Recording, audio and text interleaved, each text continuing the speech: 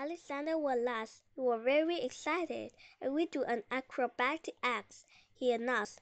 "My pals Anna and Abel will assist me." Alexander stood on his head. Anna placed a tray of stacked glasses on Alexander's nose.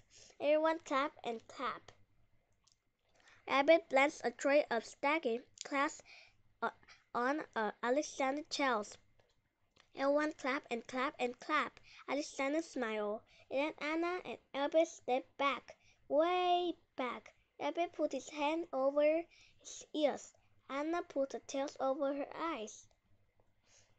Suddenly Alexander sprang into the air. The trays of glasses sailed up above his head. He flipped over and bam! Alexander landed on his feet, and he was balancing a tray of glasses on each hand. Now everyone was standing up and cheering. Jack and Anna and Abby were cheering loudest of all. "Hurrah for Alexander!"